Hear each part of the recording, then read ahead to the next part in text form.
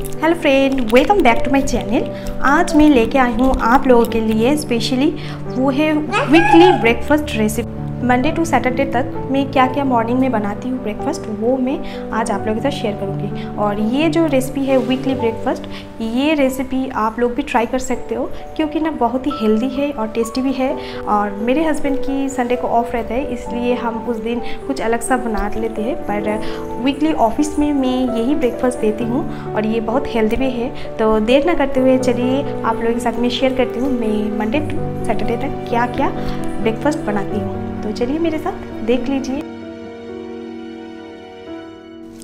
सो so friend आज मैं breakfast में बनाने जा रही हूँ चीला। आप लोग देख के समझ सकते होंगे। तो पहले मैं यहाँ पर एक मिर्च काट करके रख दी थी और उसके साथ मैं यहाँ पे थोड़ा बहुत धनिया पत्ता भी चॉपिंग करके रख दी और साथ में थोड़ा बहुत मैं गाजर को भी ग्रेट कर रही हूँ और उसके साथ मैं यहाँ पे ले रही हूँ मैदा।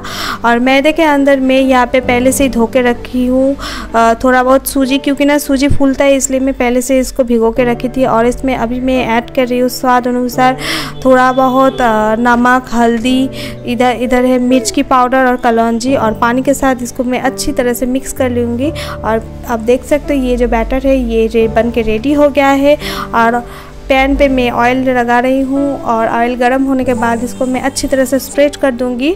तो स्प्रेड करने के बाद इसको मैं लीड से ढक दूँगी और लीड से ढकने के बाद इसको थोड़ा बहुत पकने में टाइम लगता है। धीमी आँच में बनाना है।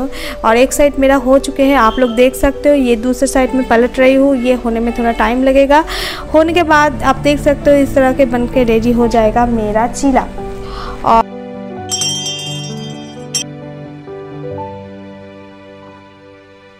और नेक्स्ट डे मैं बनाने जा रही हूँ पोहा। तो पोहा बनाने सबको आता है और मेरे घर पे जो जो वेजीज थी, मैं वो ऐड कर चुकी हूँ। जैसे आलू हो गया बीन्स हो गया, गाजर को थोड़ा ग्रेट कर ली हूँ, थोड़ा बहुत मैं डाल रही हूँ मिर्च।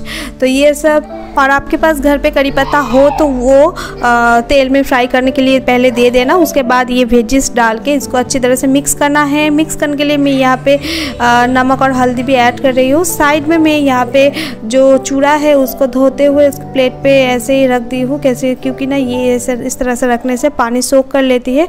उसके बाद मैं इसमें अच्छी तरह से मिक्स कर लूँगी और ये बन के ऑलमोस्ट रेडी हो जाएगा मेरा पोहा हेल्दी सा पोहा क्योंकि ना यहाँ पे बहुत सारे वेजीज है, इसमें मूँगफली है, आप लोग को पसंद है तो आप दे सकते हो, नहीं तो ये ऑप्शनल है।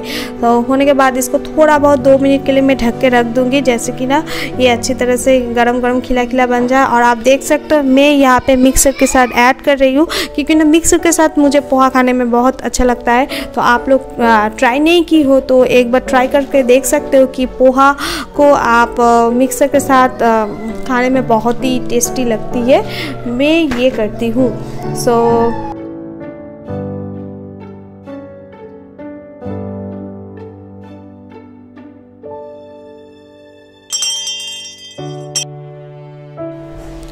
सो so, आज मैं बनाने वाली हूँ इंस्टेंट इडली और इडली का रेसिपी मैं आप लोगों के साथ पहले भी शेयर कर चुकी हूँ। यहाँ पे और एक बार आप लोगों के साथ शेयर करते हुए एक कप इडली के पाउडर ले लिए उसके साथ एक कप पानी और यहाँ पर मैं हाफ़ कप के दौरान दही ले ली हूँ। इसको अच्छी तरह से मिक्स करूँगी। मिक्स करने के बाद इसको लीड से मैं ढक दूँगी पाँच मिनट तक और मेरे पास इंडक्शन है और इंडक्शन में बहुत अच्छी तरह से इडली बनाना जाते हैं क्योंकि ना इडली का यहाँ पे ऑप्शन है।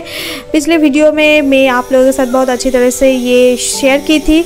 मैं उसका लिंक आप लोगों के साथ डिस्क्रिप्शन बॉक्स में डाल दूँगी। आप लोग वहाँ से चेक कर लेना। और जिसके पास इंडक्शन नहीं है, आप लोग गैस के घड़ी देख के दस मिनट के दौरान उसको रखना होगा।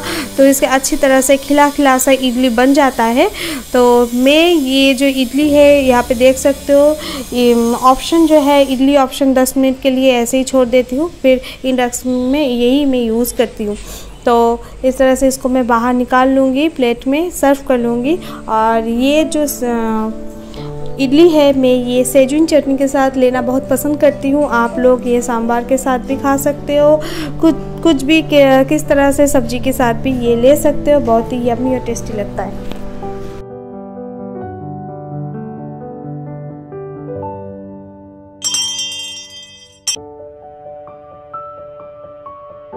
नेक्स्ट आज मैं बनाने जा रही हूँ ओट्स की खिचड़ी। और ओट्स की खिचड़ी बनाने के लिए मैं यहाँ पे ले रही हूँ एक कप ओट्स और ये सादा ओट्स है, मसाला ओट्स नहीं है। और उसके साथ मेरे घर पे जो जो वेजिस है, मैं वो ऐड कर रही हूँ। जैसे कि फूल गोभी हो गया बीन्स गाजर, आलू, मिर्च और तेल पे आप देख सकते हो, मैं जीरा फ्राई कर चुकी हूँ। जीरा फ्राई होने के बाद इसमें मैं जितनी भी मेरे पास वेजिस थी, वो मैं ऐड कर दी हूँ। और यहाँ पर मैं थोड़ा बहुत दाल भी ले रही हूँ, मूँग दाल। खिचड़ी में मूँग दाल बहुत अच्छा लगता है, इसलिए मैं मूँग दाल यहाँ पे धो के ऐड कर रही हूँ और मूंग दाल को इस तरह से धोने के बाद ये रोस्टेड मैं ये थोड़ा बहुत रोस्ट कर ली हूँ अलग से पैन में ओट्स को और रोस्टेड जो ओट्स है वो यहाँ पे ऐड कर रही हूँ। ऐड करने के बाद इसको अच्छी तरह से मिक्स करना है और उसके बाद जो गर्म पानी से इसको अच्छी तरह से मैं मिक्स कर लूँगी और स्वाद अनुसार नमक, हल्दी भी ऐड कर लेना और ये इस तरह से आप देख सकते हो, बन के रेडी हो जाता है।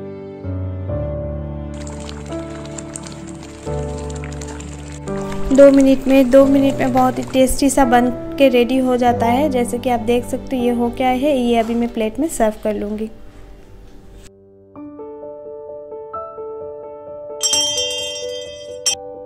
और आज मैं बनाऊँगी सेवे की उपमा। और सेवे की उपमा बनाने के लिए मुझे लग मैं पैन में पहले कर दी हूँ तेल में तेल में गरम करके यहाँ पे मैं सोरसों ऐड कर दी हूँ आई मीन मस्टर्ड सीड और उसके बाद एक प्याज और एक आ, हरी मिर्च और साथ में मेरे मेरे पास घर पे जो जो वेजीज था, वो मैं ऐड कर दी हूँ, जैसे कि गाजर और बीन्स आपके पास ज़्यादा हुआ तो आप वो भी ऐड कर सकते हो।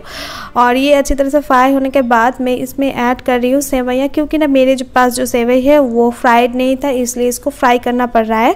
और आप लोगों के पास फ्राई किया हुआ हुआ तो तो ज़्यादा मत कीजिए, थोड़ा बहुत फ्राई करना पड़ेगा। तो इसको अच्छी तरह से फ्राई करने के बाद इसमें मैं गर्म पानी ऐड कर दूँगी, और उसके साथ इसमें मैं नमक और थोड़ा बहुत ऐड कर दूँगी स्वाद अनुसार।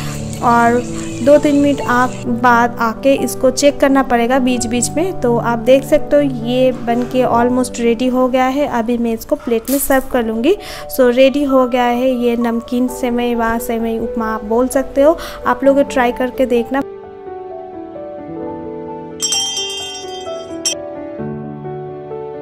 आज मैं मैं ब्रेकफास्ट में बनाऊँगी आलू की परोठा और आलू की परोठा आप सभी को आता है सो पहले मैं एक आलू को बॉईल करके पहले से रख दी थी और उसके उसमें मैं मिक्स कर रही हूँ थोड़ा जीरा powder I I mean mean, fry किया हुआ जीरा पाउडर थोड़ा बहुत नमक मिर्च की पाउडर और एक मिर्च। उसको अच्छी तरह से मिक्स करने के बाद ये जो रोटी थोड़ा बहुत मैं बेल ली हूँ और उसके उसके अंदर में वो मिक्स करते हुए अच्छी तरह से स्प्रेड कर ली हूँ और आप देख सकते हो ये तवे पे मैं होने के लिए दे दी हूँ। एक साइड हो गया है। ये होने होने के बाद मैं इसमें थोड़ा बहुत ऑयल ऐड करते हुए इसको अच्छी तरह से फ्राई कर लूँगी ये आलू पर, जो परोठा है। और आप देख सकते हो कितना खिला खिला, कितना ज़्यादा फूल गया है। तो अभी मैं प्लेट में ये सर्व करूँगी और केचप के साथ मैं ये लूँगी। और आज मैं बनाऊँगी दलिया की खिचड़ी। दलिया की खिचड़ी बनाने के लिए मुझे, मेरे पास जो जो वेजीज है, मैं वो ऐड कर रही हूँ और इससे पहले मैं पैन पे थोड़ा बहुत तेल ले हूँ और तेल के अंदर मैं डाल दी सूखी मिर्च, थोड़ा बहुत जीरा, तेज़पत्ता और उसके बाद मैं यहाँ पे मेरे पास सारे वेजीज हैं, वो मैं ऐड करूँगी और इसको अच्छी तरह से फ्राई होने के लिए दे दूँगी। फ्राई होने के बाद इसमें मैं ऐड करूँगी थोड़ा बहुत मसाला, जैसे कि जीरा पाउडर हो गया, हल्दी, मिर्च पाउडर थोड़ा बहुत नमक स्वाद अनुसार। और आप लोग चाहे तो इसमें जिंजर भी ऐड कर सकते हो। मैं यहाँ पे जिंजर ऐड नहीं कर रही हूँ। सो इस तरह से इसको मैं अच्छी तरह से फ्राई कर लूँगी। फिर साइड में धो धो के रखते हुए जो मूंग दाल है, मूंग दाल इसमें ऐड कर रही हूँ। क्योंकि ना खिचड़ी में मूंग दाल बहुत अच्छा लगता है, मैं ऐड करती हूँ। ऑप्शनल है, आप लोग चाहे तो ऐड कर सकते हो तो नहीं भी ऐड कर सकते हो। इसको अच्छी तरह से फ्राई करने के बाद मैं साइड में डेढ़ कप दलिया रख दी थी धो के।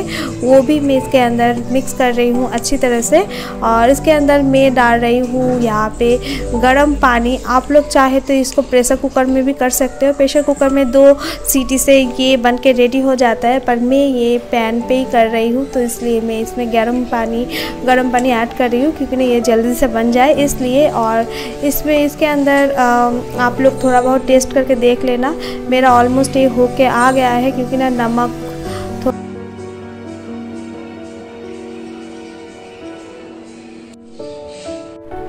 आई होप कि आप लोगों को ये वीडियो पसंद आया होगा और हेल्पफुल भी होगा कि मंडे टू सैटरडे तक क्या क्या बनाऊँ बहुत लोग यही कन्फ्यूज़न में रहता है तो मैं इस टाइप में रूटीन कर लेती हूँ कि मैं ये ये डिश बनाऊँगी।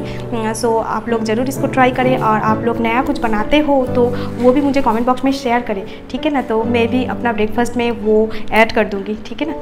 सो so, आज का वीडियो यही तक है फिर मिलूँगी और एक नए वीडियो के साथ तब तक के लिए बाय बाय